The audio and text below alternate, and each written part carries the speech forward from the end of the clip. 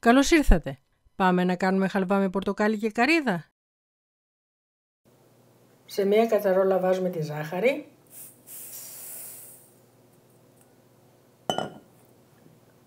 Το νερό.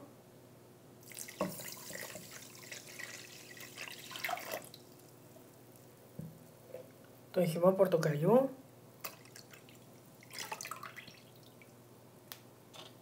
Και ένα ξυλάκι κανέλα και ανακατεύουμε.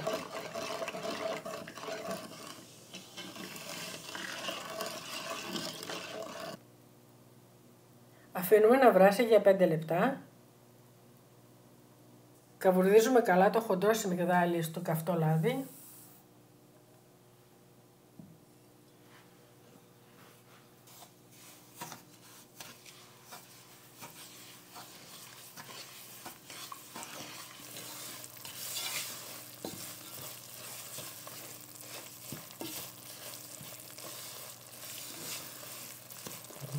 Αρωματίζουμε με ξύσμα πορτοκαλιού.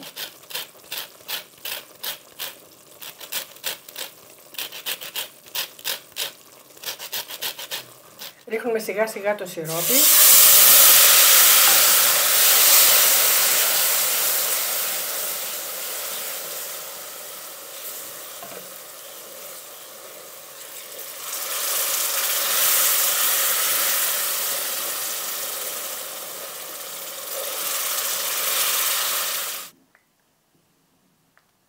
Ανακατεύουμε σε μέτρια φωτιά μέχρι να δέσει και τέλος προσθέτουμε την καρύδα.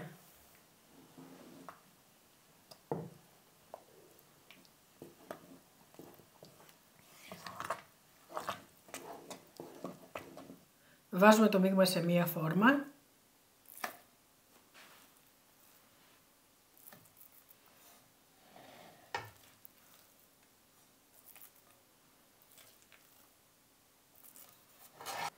Στρώνουμε καλά.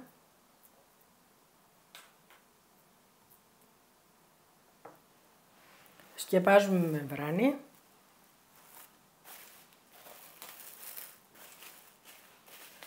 Και αφήνουμε εκτός ψυγείου να κρυώσει. Όταν κρυώσει τον ξεφορμάρουμε και σερβίρουμε με κανέλα. Αν σας άρεσε το βίντεο κάντε like και αφήστε το σχόλιο σας. Καλή επιτυχία!